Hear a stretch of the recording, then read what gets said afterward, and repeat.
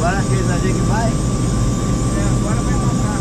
Negócio é que vai.